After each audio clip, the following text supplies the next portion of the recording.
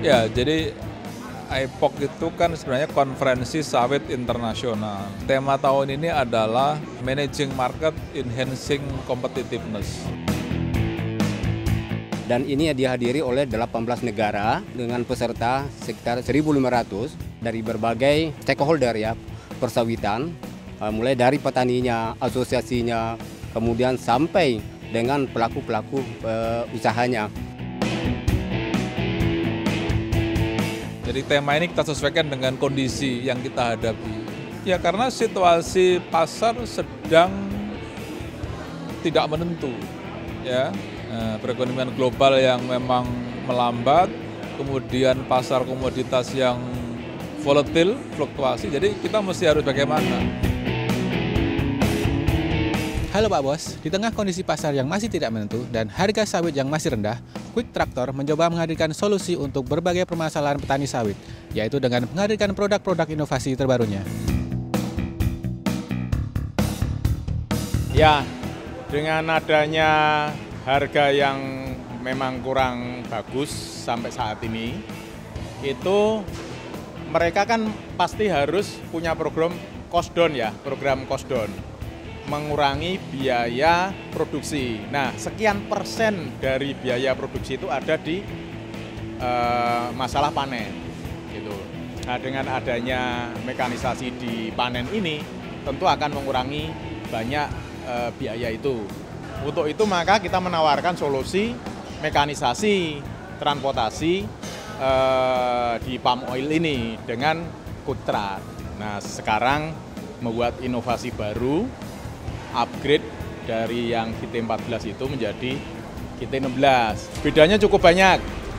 Yang utama dan pertama itu mengenai ini sister lift ya, sister lift ini. Jadi ini nanti diperuntukkan untuk perusahaan yang menggunakan bin system. Nah, dengan demikian nanti akan mengurangi biaya yang double loading. Itu inovasinya yang utama di situ.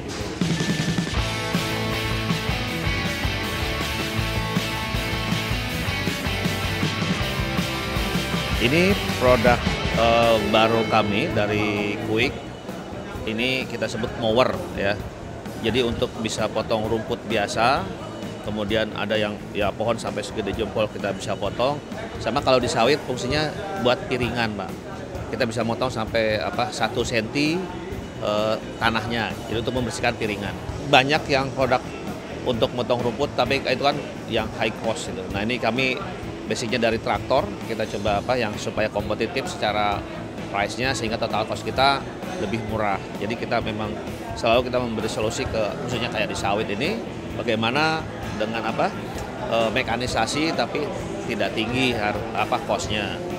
Jadi betul-betul bahwa ya memang fungsional ya. Ini dari dis, e, kita pakai 15 HP hanya 0,8 apa liter per jam. Jadi sangat-sangat murah sekali gitu. Kemudian kita juga pakai apa?